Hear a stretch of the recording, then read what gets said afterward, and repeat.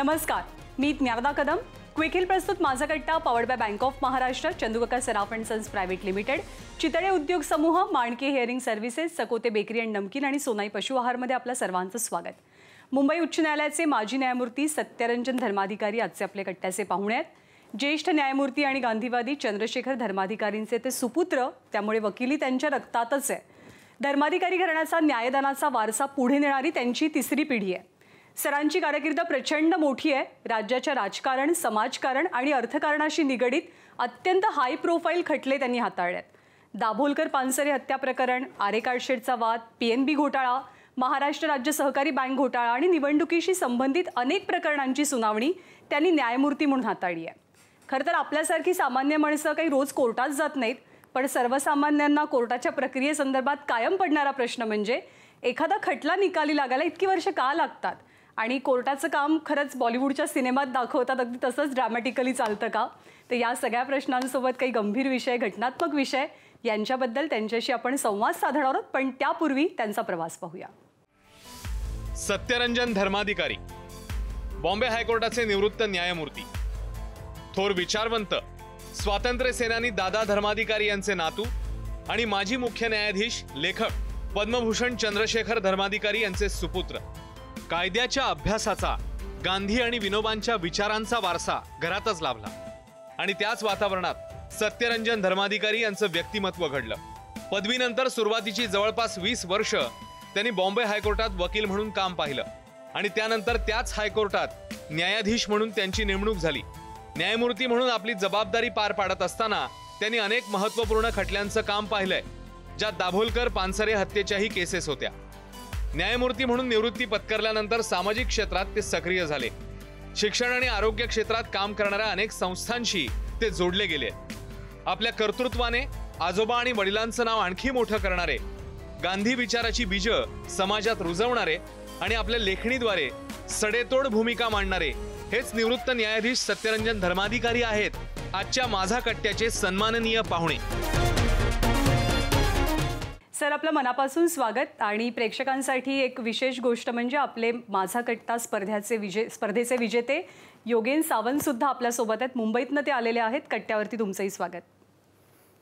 Sir या कट्ट्यावर न्यायमूर्तींशी गप्पा मारण्याचा योग ह्या सगळ्यांना आणि आम्हाला येईल असा आम्ही कधी विचार नव्हता केलेला. तर तो योग तुमच्यामुळं आला. आम्हाला खूप आनंद आहे या गोष्टीचा. आणि आत्ता खरं तर त्याला निमित्त अलीकडंच माध्यमं आणि न्यायालय याच्याबद्दलचा एक विषय चर्चेत आला होता. माध्यमं ज्या पद्धतीनं कांगारू कोर्ट चालवतात माध्यमं स्वतः न्यायाधीशांच्या भूमिकेत जाऊन बसतात माध्यमं न्यायनिवाडा स्वतःच करू पाहतात अशा स्वरूपाच्या गोष्टी गेल्या काही दिवसांपासून चर्चेत आहेत. मुख्य न्यायमूर्ती रमण्णा यांनी आत्ता तो मुद्दा उचलून धरला होता. तर खरंच ह्या सगळ्याकडं आपण कसं बघितलं पाहिजे हे आम्हा सगळ्यांनाच जाणून घ्यायला आवडेल की माध्यमं सध्या ज्या पद्धतीनं त्यांचं काम पाहतायत ते न्यायालयांना आवडत नाही आहे का? आपण तसं त्याकडे बघूया ना. को तसं जर आपण बघितलं तर तो एक एकांगी दृष्टिकोन होईल. रमणा साहेब हे मुद्रित माध्यमांबद्दल बोलत नाहीत. त्यांच्या बाबतीत ते म्हणतात की ते जबाबदारीने वागतात. ते जे दृकश्राव्य माध्यमांबद्दल बोलतात तिथे ते म्हणतात की स्वनियंत्रणाचं काही तरतूद नसल्यामुळे अनेक वेळेला ते बेफाम झालेले आहेत का असं वाटतं. मात्र हे नाराजीचं कारण असू शकत नाही. काही बाबतीत त्यांना त्याचं दडपण जाणवलं असेल किंवा त्यांना वाटत असेल की याचं दडपण माझ्या इतर न्यायाधीशांना आणि जे सगळ्या स्तरावर काम करतात. एक आपण बघा की तो व्यक्ती हा प्रमुख आहे. त्याच्यावर फार मोठी जबाबदारी आहे. भारतातल्या सगळ्या न्यायालयांमधले सगळे न्यायाधीश आणि वकील आणि कर्मचारीगण अशील त्यांच्याकडे सगळे फार आशेने बघतात. त्यांच्या एकट्यावर किंवा एकट्याच्या बाबतीत ते बोलत नाहीत. ते एकत्रित विचार करतात. आणि म्हणतात की असा परिणाम होऊ शकतो. काही बाबतीत बऱ्याच वेळेला त्यांना जाणवलेला असा तो परिणाम असेल आणि तो एखाद्या खटल्यामध्ये त्यांना दिसला असेल. अन्यथा ते बोलणार नाहीत. शेवटी न्यायाधीश हा कागदपत्रांच्या आधारेच आणि पुराव्याच्या आधारे बोलतो. हे गृहितक आहे. मात्र सरसकट त्यांच्याशी सहमत होणं कठीण आहे. कारण माध्यमांना आता जी मुभा मिळालेली आहे ती काही अंशी आम्ही न्यायाधीश आणि वकिलांनीच दिलेली आहे. काही अंशी ती तुम्ही जेव्हा ज्याला आपण म्हणतो इंग्रजीत पब्लिक डोमेनमध्ये आहात तुम्ही जनतेसाठी आहात जनतेसमोर आहात जनता तुमच्या न्यायालयात येऊ शकते आणि त्याचं महत्त्वाचं कारण असं आहे की केवळ ज्याचं प्रकरण आहे तो अशील त्याचे वकील एवढीच मंडळी न्यायालयाच्या दालनात जिथे ती तो खटला किंवा ते ती केस चालते तेवढ्यापुरतेच ती आत येऊ शकतात असं नाही आहे. ज्यांची प्रकरणं नाहीत ज्यांचा तसाही संबंध नाही पण कुतूहलापोटी ज्यांना यायचं आहे आणि बघायचं आहे कामकाज तेही येऊ शकतात. त्यामुळे अशी सगळी मंडळी जेव्हा न्यायदालनात येतात तेव्हा त्यांच्यासमोर काही वेळेला त्यांना जसं आकलन झालेलं असतं त्याच्यातून अनेक वेळेला ते बाहेर जाऊन त्याच्याबद्दल कुठल्या ना कुठल्या प्रकारे आपली भूमिका मांडत असतात. माध्यमांच्या प्रतिनिधींच्या बाबतीमध्ये तेवढी एक तक्रार असू शकते की इतक्या घाईने ते निष्कर्षापर पोच पोचतात आणि त्यांच्यामध्ये संयमाचा अभाव आहे. थोडी ही प्रकरणं नाजूक असतात थोडी प्रकरणं ताबडतोब समजत नाहीत. म्हणजे न्यायाधीशांनाच ती समजायला वेळ लागतात. वेळ लागतो तर तिथे आपण अशी निष्कर्षापर्यंत कसे पोचता आपल्याला सांगायला मला अजिबात संकोच होणार नाही आणि निवृत्त झाल्यावर तर अजिबात नाही. की जेव्हा हे सगळं सुरू झालं तेव्हा मी याला थोडासा विरोध केला होता. काय झालं होतं की प्रवेश तर सगळ्यांनाच असतो ना न्यायालयात. त्याला काय कोणाला विशेष परवानगी घ्यावी लागत नाही. मग तुम्ही एवढं कशाला पत्रकारांचं माध्यमांचं असं आहे? हा कशासाठी एवढं हे चाललं आहे येऊ देत त्यांना बघू देत. त्यांना जे काय कळायचं आहे त्यांना कळेल त्यांना जे काय समजलं आहे ते समजेल आणि ते लिहितील. आपण त्याच्याकडे लक्ष देऊ नये. पण काय झालं? तुम्हाला विशेष जागा देण्यात आली. दलवीर भंडारी साहेब आमच्याकडे चीफ जस्टिस होते. ते मुख्य न्यायमूर्ती असताना मुख्य न्यायमूर्तींच्या दालनामध्ये त्यांच्या न्यायालयामध्ये त्यांनी एक वेगळा कक्ष असा उभारून दिला. मग तिकडे हे सगळी मंडळी यायला लागली. आणि मग मी त्या दालनात काही मुख्य न्यायमूर्तींसोबत बसल्यावर मला लक्षात आलं मी त्यांना म्हणत असे की कुछ नहीं तो मैं देख रहा हूँ हमारा ध्यान तो उधर जा रहा है. ही मुलं प काहीतरी लिहितायत काय करतायत. आपल्यासमोर आपण ज्याला आपण देतो आहोत जे काही आपल्या न्याय निकाल आहे किंवा आजचा आदेश आहे त्याच्याशी आपला संबंध येत होता तो फार कमी होता त्यांनी काही फरक पडत नव्हता. पण ही मंडळी तुम्हाला वाटतंय का तुम्हाला हे होतं नाही आपको कोई फरक नाही पडता होगा तो मुझे भी नाही पडता है। पण काही वेळेला त्या त्याचा परिणाम झाला असेल असं मला वाटतं आहे. आणि तो बहुतेक वेळेला झाला असेल तो प्रकरणांमध्ये झाला असेल नाही पण मग तेवढं मी त्यांना म्हणालो होतो त्या काळात की आपण हे इतकं मुक्त नका करू. कारण मग यांना कल्पना नाही आहे आपण ह्यांच्यावर लादू शकत नाही आपलं मत की तुम्ही पहिले प्रशिक्षण द्या मगच प्रवेश द्या. हे सगळं आपण कोणाला सांगणार? संपादकांना बोलवून सांगणार? माध्यमाच्या संचालकांना बोलवून सांगणार? कोणाला सांगणार? पण सुप्रीम कोर्टामध्ये वगैरे तुम्ही अमुक वर्ष हायकोर्ट कव्हर केला असेल तर तुम्हाला तिथल्या प्रेसच्या गॅलरीत प्रवेश मिळतो. तुम्हाला लॉची डिग्री असणं आवश्यक आहे असं असं- असं सगळ्याच ठिकाणी झालं पाहिजे. खरं तर सर म्हणजे न्यायाधीश न्यायमूर्ती असं म्हटल्यानंतर ज्यांचा त्या कोर्टाशी काही संबंध येत नाही ज्यांनी फक्त काहीतरी बघितलं आहे सिनेमांमधून किंवा कुठेतरी कथा कादंबऱ्यांमधून वाचलं त्याच्यावरनं त्यांची मतं बनलेली असतात. आणि त्यामुळं एकूण या पदा ही पदं भूषवलेल्या व्यक्तींच्याबद्दलचं कुतूहल खूप सर्वसामान्य वाचक प्रेक्षकांमध्ये खूप जास्त असतं. तर तुम्ही म्हणजे म, इतकी मोठ्या कौटुंबिक परंपरा वारसा तुम्ही स्वतः खूप ॲक्टिव्ह होतात जोपर्यंत वकील होतात. न्यायमूर्ती झाल्यानंतर सगळं आयुष्य तुमचं बदलून गेलं. तुमच्या सगळ्या करण्यावर वागण्या बोलण्यावर खरंच इतक्या मर्यादा आल्या येतात? नाही मर्यादा या येत नाहीत असं नाही आहे. मर्यादा या स्वतः ठरवायच्या असतात. बऱ्याच लोकांना मर्यादा आवडत नाहीत. जबाबदाऱ्या आवडत नाही म्हणून ते न्यायाधीश होत नाही. आजची आमची सगळ्यात दुःख वेगळं आहे. कर्तबगार वकील जे आहेत ना ते न्यायाधीश व्हायला तयार नाहीत. आमची दर्जा आणि गुणवत्ता खालवली आहे हे आम्ही मान्य करायला पाहिजे. कारण दर्जेदार माणूस तिथे आला नाही तर दर्जा सांभाळता येत नाही उंचावता येत नाही. आपल्या संविधानात म्हटलं आहे की राष्ट्राने नेहमीच आणि चढती श्रेणी गाठली पाहिजे. ती चढती श्रेणी गाठण्यासाठी जे काही गरजेचं आहे तसे आपले प्रयत्न असायला हवेत. ते नागरिकाचं मूलभूत कर्तव्य आहे. माझे वकील मित्र काय म्हणतात? की ही हे नको मला ही बंधनं नको. मला बंधनं म्हणजे माझं आयुष्य मला जगता येणार नाही स्वायत्त माझं आयुष्य आहे. मी कोणाला बांधलेलो नाही कोणाला बांधील की नाही मला काही प्रकारची. जबाबदारी नाही. असं आयुष्य मला जगायचं असतं. कधी कधी प्रशासकीय काम करावं लागतं. बरेच प्रकरणं ही हाताळताना तुम्हाला संवेदनशील असतात. त्यामुळे येणारं दडपण असेल म्हणा माणसं दूर राहू इच्छितात. त्याहीपेक्षा थोडासा आर्थिक त्याग तर आहेतच त्यात. वेळ जास्त द्यावा वकील असताना खूप पैसे मिळवता येतात. पैसे मिळवता येतात. वाटेल तसं बोलूनही पैसे मिळत असतात. निर्णयाची जबाबदारी नसते आपली. शेवटी आपल्याला जे बोलायचं ते बोलून आपण बाहेर जाऊ शकतो. पण त्याचे जे आकडे ऐकतो आम्ही एकेका केससाठी पन्नास पन्नास लाख रुपये वगैरे घेतात लोक. ते कुठल्या ते कुठल्या प्रकरणामध्ये? ते आपण बघा. अशी प्रकरणं जी आहेत ना ती प्रकरणं फार कमी आहेत. दुर्दैवानं काय होतं त्याचा बोलबाला जास्त आहे. म्हणून त्या वकिलाला प्रसिद्धी मिळत असते. पण तुम्ही जर त्याला विचारलं तू का नाही न्यायाधीश झाला? तर काही कौटुंबिक कारणं सोडून द्या काही अगदी अगदी वैयक्तिक असतील काय अडचणीत असतील. पण अनेक लोक हे जबाबदाऱ्यांपासून पळतात.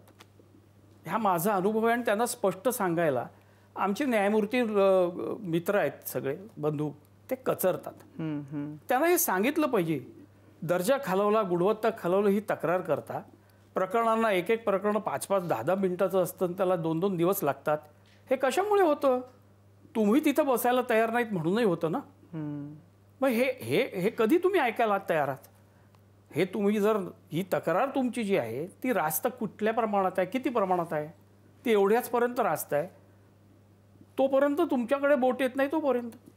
पण तुमचा वैयक्तिक अनुभव काय होता? एकदा तुम्ही न्यायाधीश झाल्यानंतर म्हणजे दोन तीन गोष्टी विचारायच्या की एक तर तुमचं पर्सनल आयुष्य आणि हे जे आपण आत्ता इतका वेळ बोललो तसं जसा सुरुवातीला अनेक केसेसचा उल्लेख झाला ज्या केसेसमध्ये तुम्ही न्यायमूर्ती होते तेव्हा काही वेगळं म्हणजे मग पानसरे असतील दाभोळकरांची केस असेल किंवा तुम्ही मला तरी कुठलं दडपण जाणवलं नाही.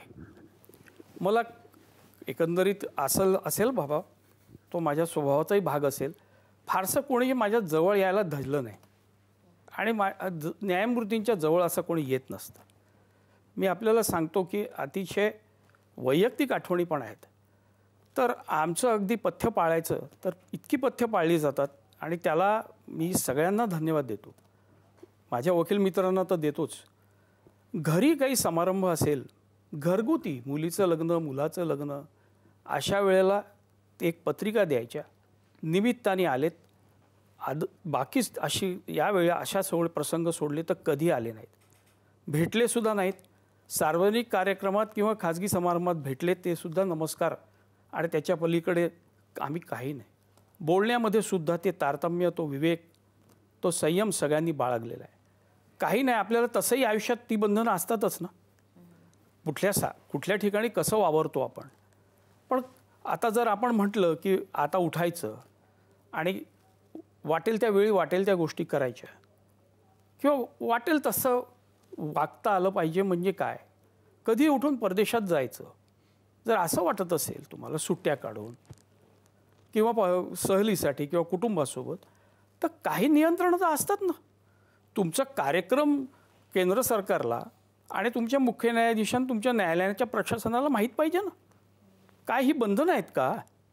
कशाला बंधनं म्हणायचं? शेवटी हा वैयक्तिक प्रश्न आहे. मला असं कधीही वाटलं नाही दडपण तर अजिबात वाटलं नाही. तुम्ही म्हणाल मला सराव असेल ते रक्तातच आहे असं काही नाही. असं कधी होत नसतं.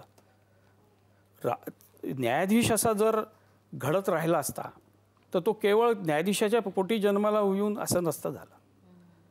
त्याचं एक कारण आहे आपल्याकडे उपजत न्यायबुद्धी आहे. एक आपण लक्षात घ्या भारताचा इतिहास इतका चांगला आहे आणि त्याचा अभिमान वाटला पाहिजे. असं म्हणतात की राजा विक्रमादित्यच्या काळात एक गायी सांभाळणारा गाय म्हशी सांभाळणारा जो असा मुलगा होता अशिक्षित मुलगा त्याच्यानंतरच्या राजाच्या काळात तो झाला आणि तो त्या मुलांसोबत खेळायचा दिवस रात्र. मग एक दिवशी त्यांनी खेळ म्हणून तयार केलेला प्रकार होता. खोटी खोटी प्रकरणं आणायची भांडायचे ते आणि तो त्याच्याकडे घेऊन जायचे. तू न्यायाधीश हो आणि तू निकाल दे. निवाडा दे तो एका वरती उंचीवर बसायचा एका दगडावर बसून. मी आता न्यायाधीश म्हणून असं बसायचं. आणि आश्चर्यकारकरित्या तो सगळे अचूक निवाडे द्यायला लागला. लोकांना काय वाटलं? या पोरात नाही तो गुण. तो गुण त्या त्या दगडात आहे. त्यांनी राजाला जाऊन सांगितलं शेवटी दरबारी आहेत ना ते. त्याला खुश करायला की हे दगड घाडून तू पहा खोदून पहा. तिकडे एक सिंहासन मिळालं असं म्हणतात. ते सिंहासन त्यांनी आपल्या राज दरबारात आणलं. आणि उपास तापास करून तो एकशे पाच दिवस तिथे बसायचा प्रयत्न करायचा आणि आकाशवाणी म्हणायची तू नालायक आहेस. शेवटच्या दिवशी जे त्याला ऐकायला मिळालं ते फार म्हणजे आमच्यासाठी आजही मार्गदर्शक आहे. तुझ्याकडे त्या मुलाचं निष्पाप निष्कपट असं मन नाही आहे तो निश्चल आहे निर्भय आहे. तो बसला तिथे की त्याला ते जी उपजत आहे ते बाहेर येत आहे. ते नसल्यामुळे तू इथे बसू शकत नाही ही जागा अपवित्र होईल. तर कसं आहे हे सगळं आपल्याकडे सुरुवातीपासून आहे. स्वभावत आहे. शिक्षक आपल्याला मारतात कसं? आई वडील मारतात? आपली बाजू ऐकून घेऊन मारतात. मग शिक्षा देतात. हे कुठून येतं? तेव्हा ह्या सगळ्याचं दडपण कधी येणार नाही. तुम्ही ती काही गुण त्या खुर्चीत आहे असं म्हणतात. सांगायची गोष्ट म्हणजे त्याच्या खुर्चीत आहे. आता तुम्ही खुर्ची आपल्या मापाची करून घेतली तर मग भाग वेगळा. पण त्या खुर्चीचा मान जर तुम्हाला राखता आला आणि त्या दर्जाचं काम करता आलं तर कधीच त्रास होत नाही. कोणती प्रकरणं गेल्या काही काळातली खूप कस पाहणारी होती? म्हणजे तुम्ही राज्यातली अनेक चर्चेतली प्रकरणं हाताळली आहेत खरं तर. कस कुठल्या प्रकरणांनी पाहिला? खरं पाहिलं ना तर आपल्या काळामध्ये काही प्रकरणं संपणार नाही हे माहिती असतं. हो ना? तर मग ती प्रकरणं सुरू ठेवणार आहेत काही लोक. पक्षकारांचं त्याच्यात रस आहे. ती प्रकरणं न संपण्यात. काही प्रकरणं तशी असतात बरं ती त्यासाठीच आणलेली असतात. तुमचं प्रशिक्षण आणि तुमचा अनुभव आणि तुमचं जे काय दर्जा आणि गुणवत्ता आहे ते तुम्हाला खरोखर अन्याय झाले आहे की नाही हे ओळखायला शिकवतं. जिथे खरोखरीच अन्याय झालेला आहे ना तिथे एक मिनिटात पकडता आलं पाहिजे. बाकीची प्रकरणं खरोखरी अन्याय झालेली नसतात. ती कोल्हेकोई असते. ते दुसऱ्यांकडून काहीतरी हिसकवून घ्यायचं असतं. माहिती असतं आपण या प्रकरणात काही नाही आहे. पण त्याला मिळू द्यायचं नाही आहे. त्यामुळे ती प्रकरणं आणलेली असतात. अशा प्रकरणांमध्ये वगैरे कस वगैरे फारसा लागत नाही. ती ऐकायची असतात. त्यांना हवं असेल तर बाबा घे हातात देतो निवाडा.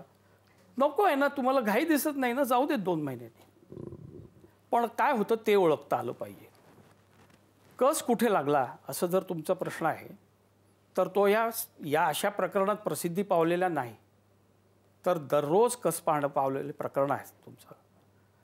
मी दोन हजार तेरा साली मला असं सांगण्यात आलं की काही ज्येष्ठ न्यायाधीश एक दोन निवृत्त झाले. एक दोन इतर न्यायालयांमध्ये गेले मुख्य न्यायाधीश म्हणून. आता तुम्ही करविषयक प्रकरणं सगळी घ्या. तर मी त्यावेळच्या मुख्य न्यायमूर्तींना खरोखर धन्यवाद देईन मोहित शाह साहेबांना. त्यांनी मला ही सगळी प्रकरणं हाताळायला दिली. मी त्यांना म्हटलं मी कर भरला की नाही हे मला माहीत नाही. कर किती भरला ते पण मला माहीत नाही. कर कसा भरतात हे पण माहीत नाही. आणि तुम्ही मला करविषयक सगळी प्रकरणं देतात. तर म्हणे मी योग्य माणूस निवडला आहे मला वाटतं आहे म्हटलं ते ठीक आहे तुमचा विश्वास तो सार्थ ठरवायचा जबाबदारी आहे. पण नंतर मी पाच सहा वर्ष सलग ती प्रकरणं घेतली. आणि त्यामध्ये मला इतका आनंद मिळाला. कारण तो जो काही तिथला वकील वर्ग आहे आपल्याकडे करविषयक त्यांना कर सल्लागारांचा वगैरे मदत असेल पण तिथे जो शिस्त आहे अभ्यास आहे तिथे जी मांडणी आहे आणि तिथे जी जबाबदारीची जाणीव आहे ना ती फार वेगळ्या दर्जाची आहे. ती प्रकरणं ताबडतोब तुम्हाला हातावेगळी करता येतात. अशा प्रकरणांमध्ये बऱ्याच वेळा शिकायला मिळतं. तर मगाशी तुम्ही ज्ञानदाच्या प्रश्नाला उत्तर देताना म्हणालात की काही प्रकरणं असतात ती फक्त लांब लांबली जातात. म्हणजे ते असतं की सुरू राहणार. अशी अनेक प्रकरणामुळे आज कोर्टामधल्या पेंडिंग केसेसची संख्या लाखोच्या हजारोच्या घरात आहेत. तर ह्याला चाप लावण्याकरता आता ता तातडीनं काय करणं गरजेचं आहे? कारण मध्यंतरी एक विषय पण निघाला. जर मी चुकत नसेल तर जस्टिस ललित यांनी सांगितलं की सकाळी सात वाजता कोर्ट सुरू झालं पाहिजे असं मत त्यांनी व्यक्त केलं होतं. तर ह्यावर काय तोडगा निघू शकतो आपण? अस्याने तर चोवीस तास बसलं तरी नाही निघणार ना?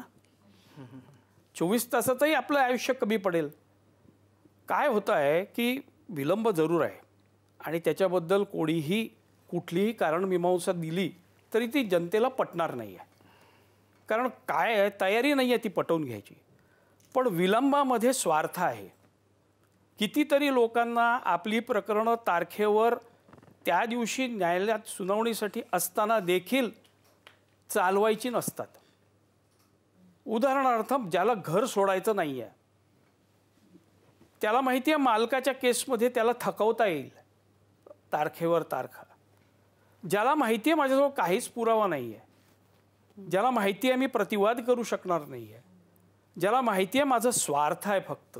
माझ्यावर अन्याय झालेला नाही आहे बऱ्याच वेळेला अपमान म्हणजे अन्याय असतो का? आणि त्याच्यातून जर प्रकरणं तुम्ही उभी केली आणि ते एकशे चाळीस जवळपास कोटी आपला देश होणार आहे. त्याच्यामध्ये साडेपाच कोटी प्रकरणं असतील तर त्याचा किती गवगवा करायचा?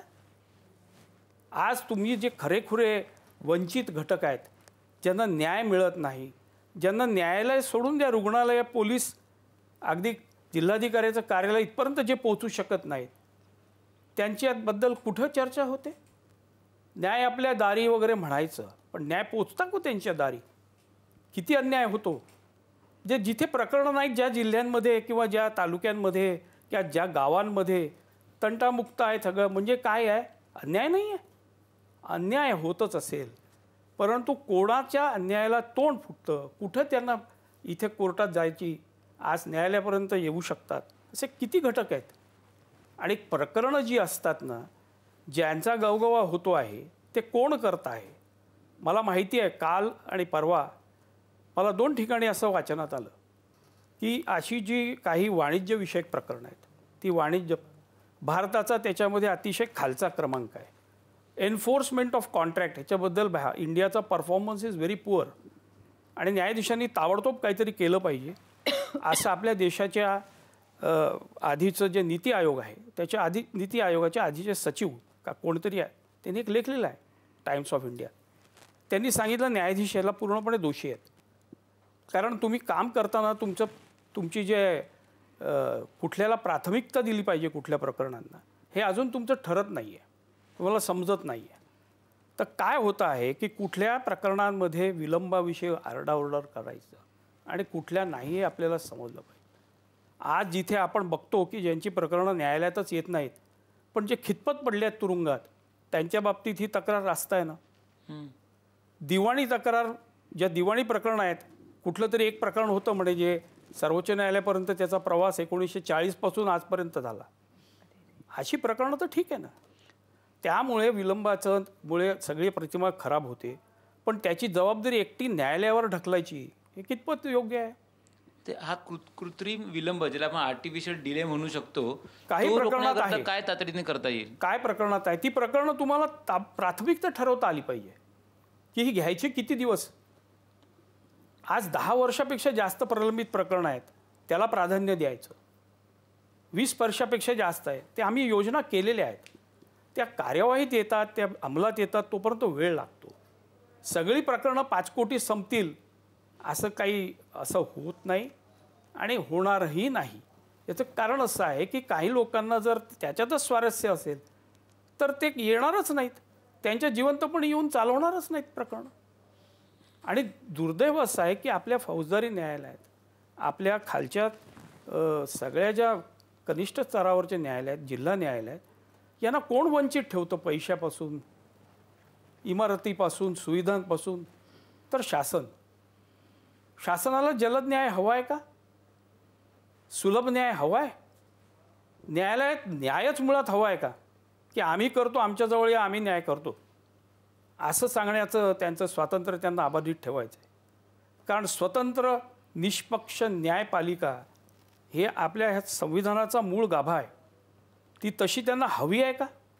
की केवळ त्यांच्या बाजूनी निवड निकाल निवाडा देणारी स्वात स्वतंत्र असलेली अशी निर्भय निष्पक्ष न्यायपालिका हवी आहे. तो त्यांना हा प्रश्न का नाही विचारत आपण? सगळ्यात मोठं पक्षकार सरकार आहे. त्यांनी आपलं वर्तन कधी सुधारायचं? सांगा मला. फौजदारी प्रकरणात तर सरकारच आहे ना? हो ना? आता आपण बघितलं असेल शासन बदललं. ताबडतोब स सरकारी वकील बदलला. अरे तो सरकारी वकील कोणाचा होता? पक्षाचा होता का शासनाचा होता? म्हणजे हे काय चाललंय? ते प्रकरण नवीन तो ते त्याची नेमणूक होईपर्यंत त्यात ते प्रकरण तसंच राहणार? मग त्या प्रकरणात ज्यांना जे भोग आहे भोग आलेले आहेत ज्यांच्या वाट्याला त्यांचं काय? त्या साक्षीदारांचं काय? ते तिथे जिवंत राहतील? त्यांची आठवण तशीच राहील? ते सगळं कथन करू शकतील जसं त्या तसं घडलेलं.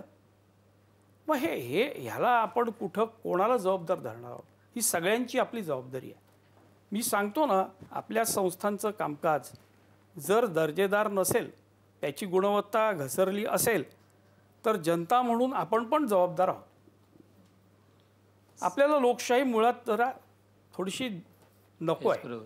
की सर्वसामान्य माणसाला पोलिसांकडे जावं किंवा शहाण्यानं कोर्टाची पायरी चढू हो. नये असं लहानपणापासून ऐकलेलं सांगितलेलं. असतं. तर मग हा एवढंच कायदा गाढव असतो. असं सांगितलं. हो ना? मग असं आहे ते कशासाठी म्हटलंय? की आपल्या सवयी आपल्या संस्कारांचा तो भाग आहे. की तुम्ही त्यांच्यापर्यंत त्या यंत्रणेला तुमच्यापर्यंत यावं लागेल असं कृती कृत्य तुम्ही करू नका. ती शिकवण आहे. तो तो टीकात्मक भाग घ्यायचा का? तुम्ही जेव्हा वकिलीला नवीन सुरुवात केली तेव्हा म्हणजे तुमच्यासाठी एक वेगळं कोट घरी असायचं का? आज काय केलं कसं केलं कुठे चुका झाल्या? कधीच झालेलं नाही. हां. हां. मात्र एक असायचं. मी तुम्हाला सांगतो. खरोखर जर हे का तुम्हाला तयार व्हायचं असेल वकील किंवा कुठलाही व्यावसायिक म्हणून तुम्ही किती वेळ देता हे फार महत्त्वाचं आहे. मी माझ्या वडिलांनी मला सांगितलं असायचं संध्याकाळी जायचं असेल मित्रांसोबत जा सगळं काय करायचं असेल ते कर. चाटाळक्या करून यायचं असेल तेही कर. पण मग तुला पुढे जर काही कामकाज करायचं असेल तर हे आज काही एक दोन निवाडे आमचे झालेले आहेत. ते सगळे आलेले आहेत. त्याच्यावर माझी सही व्हायच्या आधी त्याच्यातल्या काही चुका बघतो व्याकरणाच्या वगैरे. आणि मला वाचून दाखव जोरात. मी मी तुला सांगेन तिथे थांब आणि ते दुरुस्त कर. हे करताना मी त्यांना मदत करायचो. आणि त्यातनं मला ती भाषा कळली ती अंगवळणी पडली. कसं बसायचं बैठक मारायची. आपण बघतो ना रिवाज म्हणजे काय? तर मी घड्याळ लावायचं असं सगळं आमच्या घरी होतं. पावणेपाच वाजता न्यायालयीन कामकाज संपलं तर त्या काळात सगळं प्रशासकीय कामकाज संपवून वडील माझे सव्वापाच साडेपाचला घरी यायचे. मग आमच्याकडे दंडक होता की त्यांना पंधरा मिनटं त्रास द्यायचा नाही. त्यांनी ते निवांत झोप द- बंद करायचे खोलीत. बसायचे शांतपणे. मग चहा कॉफी जे काय घ्यायचं. एक फिरून यायचे. सात वाजतापासून ते र साडेनऊपर्यंत रात्री. ते बैठक मारून खाली सगळ्या फायली वाचायचे. दुसऱ्या दिवशीचं सगळं काम करायचे आणि मग मला सांगायचे हे निवाडे आहेत. हे आज थोडे करूया मग रात सकाळी करूया. साडेनऊ पावणेदा झाल्यावर आईची काळजी सुरू व्हायची.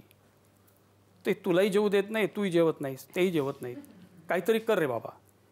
तर हे सगळं हे दडपण म्हणून होतं का? ह्याचा मला वेगळा मी मला आनंद होता.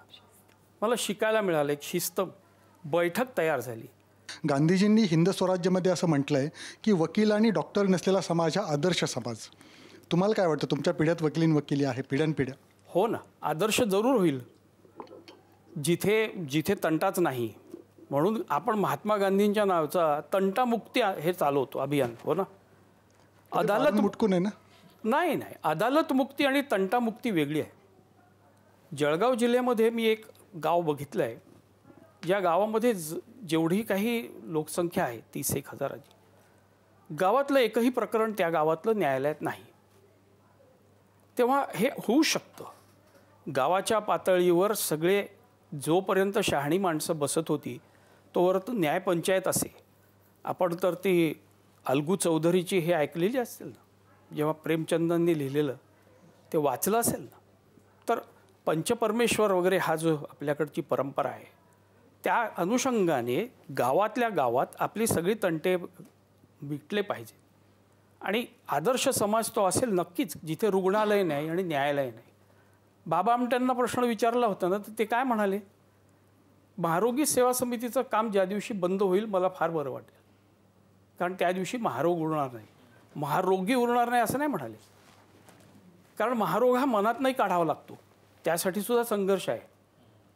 मग हे लोकांच्या मनात जे काही त्याच्याबद्दलचं होतं ते सुद्धा दूर करावं लागतं. तर आज यांची गरज पडणार नाही. हे वातावरण निर्मिती करायची असेल तर गांधीजींची अपेक्षा होती ती वकिलांनी पण करावी कारण ते स्वतः वकील होते.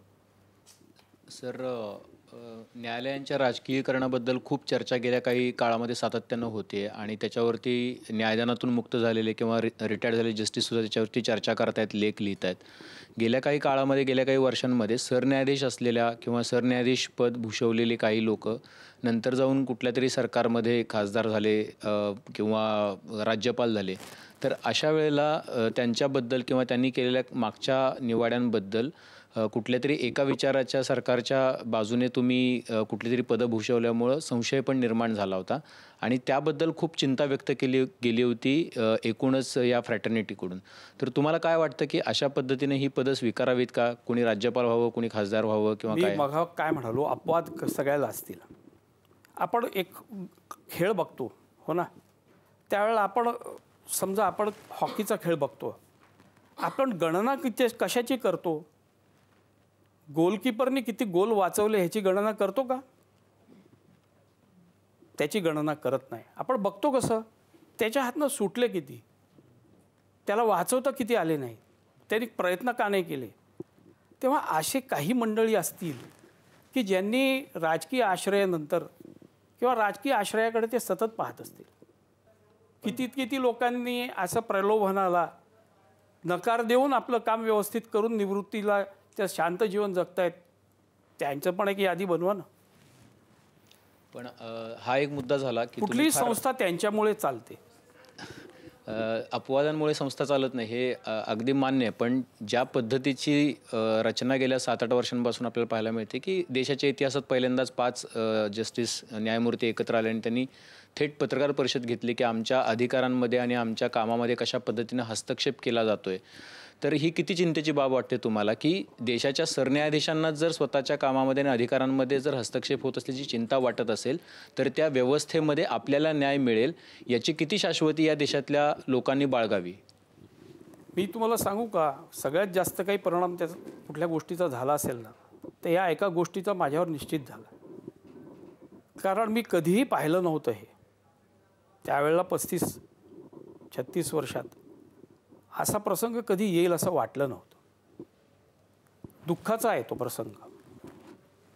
त्याच्याबद्दल अभिमान वाटावा असं काहीच नाही आहे त्यात जे काही घडलं ते चार न्यायाधीशांनी जाऊन ती पत्रकार परिषद का घेतली आणि तिथं वास्तव काय होतं हे त्या मंडळींनी आजवर लोकांसमोर आणलेलं नाही. आपल्याला माध्यमांच्या मार्फत जी काही गप्पा सप चालतात गप्पा टप्पांमार्फत ते चाललेलं दिसतं. त्याच्या कव्हरेजमुळे आपल्याला जेवढं मिळालं तेवढं. परंतु खरोखर काय घडत होतं? दडपण कोण आणत होतं? किंवा आपलेच कुठेतरी सहकारी कुठल्या दडपणाला बळी पडत होते? कुठल्या दबावाला? हे आजपर्यंत आपल्याला कळलेलं नाही. पण तसं व्हायला नको होतं. आणि तो जो काही भाग होता त्यानं आपल्याला जवळपास वीस वर्ष मागे गेलो आपण. आपल्या प्रतिमेला एवढा मोठा तडा गेला आहे अगदी आंतरराष्ट्रीय स्तरावर. तो ती हानी भरून निघायला फार वेळ लागणार आहे. ती आजही आपल्याला त्याची वे- अनेक वेळेला त्याची फळं भोगावी लागतात. अनेकदा सर तुम्ही हे अत्यंत मनापासून आत्ता बोललात पण अनेकदा ज्या पद्धतीच्या कॉमेंट्स जस्टिस यांच्याकडून त्या अधिपीठावर असताना केल्या जातात त्याच्यानंतर ज्या काही गोष्टी होतात तर ज्यावेळेला आता बोर्डावर केस येते उद्या सुप्रीम कोर्टामध्ये कदाचित याचं वर्डिक्ट येणार आहे त्याचं वर्डिक्ट येणार आहे. तर त्याच्या आधी असं बघितलं जातं की खंडपीठ कुठलं आहे बघा कारण त्यांनी आधी केलेल्या कॉमेंट ज्या आहेत त्या कुठल्या पद्धतीच्या आहेत त्यामुळे निकाल कुठल्या बाजूला जाईल हे लोक गेस करायला लागलेले आहेत. तर हे किती धोकादायक वाटतं तुम्हाला? परवाच मला कोणीतरी हा प्रश्न विचारला म्हणून मी त्याच्याबद्दल काही तर थोडंसं लिखाण केलं. जे प्रकरण आहे ना त्याच्यातली नावं आपण घेऊया परंतु ते सत्ताधारी पक्षातल्या एक कोणीतरी पदाधिकारी होत्या. त्यांचं प्रकरण होतं. त्यांना माहिती होतं की हे प्रकरण असं आहे की अजूनपर्यंत आपल्यापर्यंत त्याची काही झीज आलेली नाही. आपल्याला काही सोसावं लागलं नाही आहे कोणी घरी येऊन आपल्याला पकडून घेऊन जात नाही आहे कुठलं वॉरंट आलेलं नाही काही नाही. कुठलं बोलवणं नाही काही नाही. जे आलं होतं ते असेल. लगेच सर्वोच्च न्यायालयात धाव घ्यायची. मूलभूत अधिकार सर्वोच्च न्यायालयात जायचा कधी असतो? जेव्हा आपल्या मूलभूत अधिकारांवर गदा आली असते तेव्हाच. कलम एकवीस हे मुद्दा मूलभूत अधिकारांच्या भागात आहे. म्हणून माझ्या मूलभूत अधिकारावर गदा आली आहे असं मी म्हटलं म्हणजे येते का? ती गदा आली आहे किंवा त्याचा संकोच कुठे अधिक्षेप झाला हे ती बाई सांगू शकल्या नाहीत. न्यायाधीश त्यांना म्हणाले वेळ घालवण्यापेक्षा तुम्ही जे बोलला आहात त्याचा विचार केलात का तुम्ही? त्यामुळे हे सगळं तुम्हाला भोगावं लागतं आहे ना? आणि आ- त्याचा परिणाम देशालाही हो. देशाच्याही प्रतिमेला तडा. त्यानंतर त्या बाईंनी आपल्या प्रकरणात काही होणार नाही हे पाहिल्यावर माघार घेतली. नंतर जेव्हा त्यांना सगळीकडे बोलवणं आलं सगळ्या राज्यांमध्ये जिथे जिथे त्यांच्या विरुद्ध गुन्हा नोंदवला गेला तिथे तिथे त्यांनी न्यायालयासमोर जाऊन परत त्याच न्यायाधीशांना दाखवून दिलं की माझ्या जीवाला धोका आहे जर मी सहा राज्यात जावं लागलं मला काय केलं त्यांनी? त्यांनीच तिला संरक्षण दिलं ना? मग इतका सहज आपण आरोप करतो. आपला कट्ट्याचा पाहुणा आहे जो माझा कट्टा स्पर्धेचा विजेता आहे योगेन सावंत. तर योगेन प्रश्न विचारतोय सरांना. योगेन. सर चंद्रशेखरजी धर्माधिकारी आपले जे वडील आहेत ते राष्ट्रप्रेम आणि न्यायदानातली जी त्यांची स्वातंत्र्यता आहे याच्यासाठी नेहमीच नावाजलेले आहेत. आणीबाणीच्या काळात जसा तुम्ही उल्लेख केला त्यांच्यावर असा उल्लेख झाला की ही इज टू इंडिपेंडेंट असंही त्यांना म्हणतात. असं त्यांनी एका इंटरव्ह्यूमध्ये सुद्धा सांगितलेलं होतं. तर आत्ता जे काळात जी नवीन पिढी येते आमच्यासारखी हे जर सरकारसाठी कामं किंवा देशाच्या कामासाठी जर रुजू होणार असतील तर आम्ही स्वतंत्र कसं राहावं? आमचे विचार स्व स्वतंत्र कसं राहावेत? किंवा आमच्यावर कुठलाही दबाव न यावा यासाठी त्यांच्याकडून काही मिळालेला तुम्हाला काही अनुभव असतील किंवा काही विचार असतील तर ते सर. आपण निरपेक्ष बुद्धीने कुठल्याही प्रकारे आपली जे काही मतं आहेत त्याच्यानी त्याच्यावर त्याचा परिणाम न होऊ देता आपल्या कामकाजात. तर स्वतंत्र आणि न्यायबुद्धीने केलं उपजत आपल्या. आणि प्रामाणिकपणा त्याच्यात असेल तर कोणीही आपल्याला त्रास देत नाही. मी आपल्याला सांगतो की ते आज असलेली सरकारातली मंडळी उद्या विरोधी पक्षात राहू शकतात. त्यांना फार आदर असतो. आदरयुक्त भीती असते. आणि त्यांना असंच व्यवस्था हवी असते की जी उद्या आपल्या बाजूने नाही पण मुद्दामहून आपल्या विरोधात तर न्याय करणार निकाल देणार नाहीत. मगाशी तुम्ही विनोबांचा उल्लेख केलात न्यायदानाबद्दल किंवा न्यायाबद्दल त्यांनी जे सांगितलं ते सांगितलं तुम्ही. आणखी आणखी अशा काही गोष्टी आहेत विनोबांच्या सहवासातल्या किंवा विनोबांनी तुम्हाला सांगितलेल्या ज्या सदैव तुमच्या लक्षात आहेत? नाही विनोबांच्या सहवास फार कमी जाणं मिळा- मिळायचं. कारण आम्ही मी जे गेलो खरं पाहतं तर पासष्ट ते सत्तर किलोमीटर नागपूरपासून माझ्या जन्माच्या ठिकाणी पावणार आहे. अनेक लोकांनी त्या नागपूरचा आणि त्या भागाचा अभिमान वाटावा असा तो. आणि हे व्यक्तिमत्वच तशी होती. अनेक लोक तिथे जात येत असत. त्यामुळे जाऊन तिथे भेटण्याचं प्रसंग फार कमी यायचे. माझ्या आजोबांसोबत मी गेलो आहे वडिलांसोबत गेलो आहे आजही ते तिथली सगळी मंडळी ही माझ्या म्हणजे स्वायत्त तेथे सगळी नाती आहेत. माझ्या आत्या काका मामा सगळं असं मी त्यांना मानलो मानतो आजही. तर भगिनी पण आहेत. तर तिथं काय व्हायचं? की विनोबांचं बोलणं जरी कमी असलं तरी ते फार मोजकं पण नेमकं बोलायचं. आहे असं अनेक वाचनात आलं आहे काही माझ्या बघण्यात आलं आहे आणि त्याचा परिणाम निश्चित होणार. कारण हा माणूस याला जे आकलन होतं इतकं सहजपणे ते का नाही होऊ शकत अनेकांना आपल्याला असं वाटतं? तर ते असं म्हणायचे पहिली गोष्ट की जिथे खूप जिव्हाळा आणि प्रेम आहे ना तिथे तर्काला वाव नाही. गीतेवर माझं प्रेम आहे. कारण माझी गीता माझा मला आईला समजवायची आहे. ती म्हणाली अरे बाळ विनया हे संस्कृतात आहे मला समजत नाही. मग आईसाठी ती सोपी करायची आहे. मग तो ध्यास घेतलेला आहे. मग तिथे तर्क नको. तिथे आहे ज्ञानेश्वरांच्या तोडून आलेली तशी आपण ती त्याचा मराठीत हे करून ते दिलं सुलभ केली पाहिजे. आणि ही होत होत किती मोठी गोष्ट झाली ती गीताई झालं. ते गेलेत तुरुंगात. आणि असा स्टेनोग्राफर कोणाला मिळत नाही. त्यांनी प्रवचनं म्हणजे सगळे कैदी म्हणालेत जाऊन अधिकाऱ्यांना आम्हाला ह्यांचं प्रवचन ऐकायचं गीतेवर. आणि लेखनी कोण मिळाला तर साने गुरुजी. तर मग हा जो काही असा संयम झाला संयोग झाला त्यानंतर जे काही बाहेर येणार होतं ते उत्कृष्टच राहणार. आणि त्यांना काय व्हायचं त्यांना गोष्टी इतक्या पटकन समजायच्या. त्यांनी एकदा खादी कमिशनचे लोक गेले. ते म्हणाले आम्हाला काय संदेश द्याल? नवीन कायदा झाला आहे आम्हाला काम करायचं आहे आम्ही पदाधिकारी आहोत. ते म्हणाले खादी मिशन आहे की कमिशन? हे मिशन का नाही? मग तुम्ही जर नावापासूनच सुरुवात अशी केली असेल तर हे कसं होईल? हा प्रश्न ज्याला पडतो तो किती शहाणा माणूस असला पाहिजे. भूदानासाठी ते इतके चालत गेले. आणि आताची अठरा एप्रिलला आलेली ही ताजे हे सगळं तुम्ही वाचलं असेल. तर त्यात त्यांना विनोबांना नेहरूंनी बोलवलं. मला म आम्हाला मदत पाहिजे. देशाच्या नियोजन आयोगाला तुमची मदत हवी. ते म्हणाले माझी पदयात्रा पूर्ण झाल्यावर मी येईल ते चालत गेले दिल्लीला. आणि ते पोचले तोपर्यंत नियोजन आयोगाची मंडळी थांबली होती. व हे हे जे काही त्यांचं दर्शन आहे हे असं अनेकदा मी त्यांच्या वडिलांसोबत गेलो होतो. तेव्हा त्यांनी हेच सांगितलं होतं जे मी आत्ता सांगितलं वडिलांना. तुला काय आशीर्वाद देऊ? तू नरकात जाशील कारण कागदपत्र जर आली नाहीत तर तू कसा निवाडा करशील? आणि मग तो न्याय कसा होईल? मग तुझ्यापासून जर कागदपत्र लांब ठेवली सगळी दाखवलीच नाहीत तर अन्याय होईल. मग नरकात जावं लागेल. आता असा आशीर्वाद देणारा माणूस वेगळाच असला पाहिजे ना ते रसायनच वेगळं होतं. अशा अनेक मंडळी आहेत माझ्या आयुष्यात माझ्यावर परिणाम करणारी. किंबहुना आपल्याला सगळ्यांना वेळ असेल तर आज एक माणूस जिवंत आहे ज्यांनी आपल्याला एक संदेश दिला होता पण आपण कधी त्याचं पालन करत नाही. आपल्या देशाचं इतकं सुंदर आणि आपलं सगळ्यांचं जगाचंच मूल्यमापन आज दलाई लामांनी केलेलं आहे. दलाई लामांची एकदा माझी भेट झाली. तो ठेवा आहे अमूल्य ठेवा आहे. जसा विनोबांचा आहे तसा जयप्रकाश नारायणांचा आहे. आमच्या घरी आलेले आहेत. असं माणसं मी बघायलाच मिळत नाहीत. जयप्रकाश नारायणांना सांगितलं की तुम्ही देशाचा राष्ट्रपती व्हा. ते म्हणे उमेदवारी घेऊन. आणि तीही झाकीर हुसेनच्या विरोधात. झाकीर हुसेनला जाऊन पाठिंबा द्यायचा असेल तर मला माझ्याकडे ये.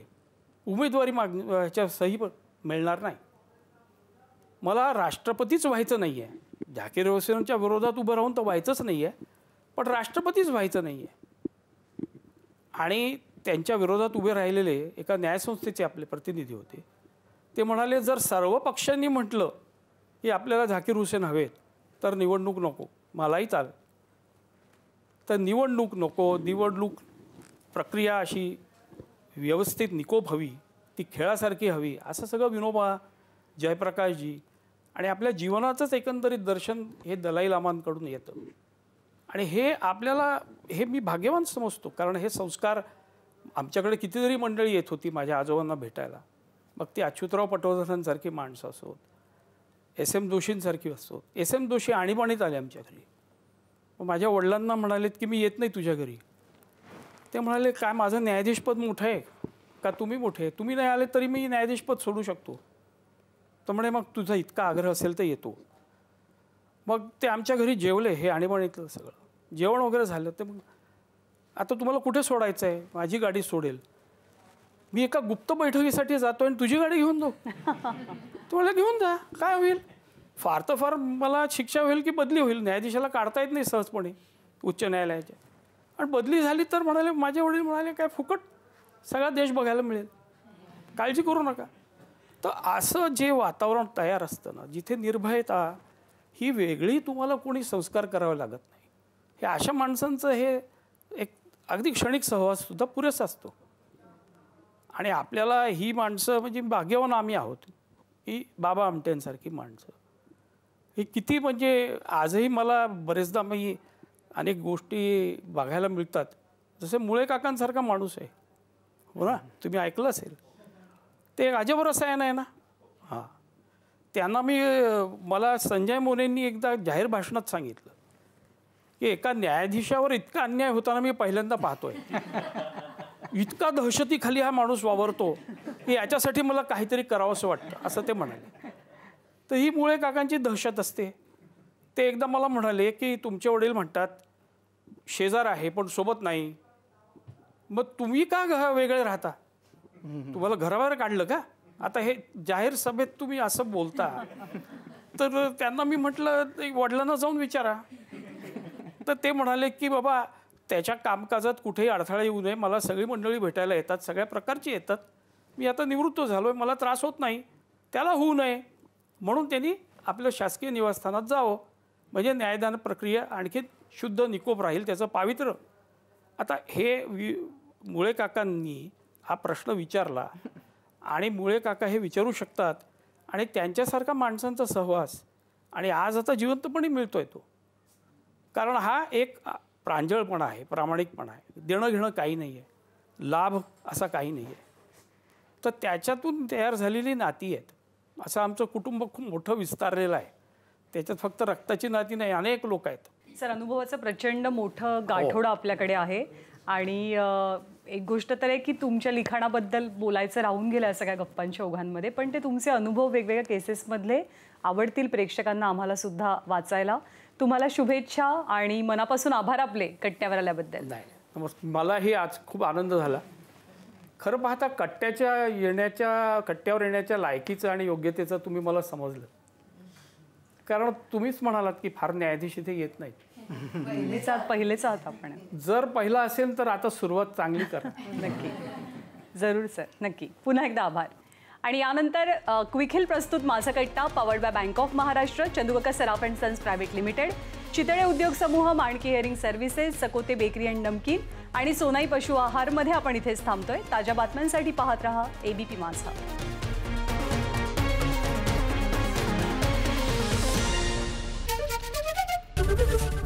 एबीपी माझा. उघडा डोळे बघा नीट.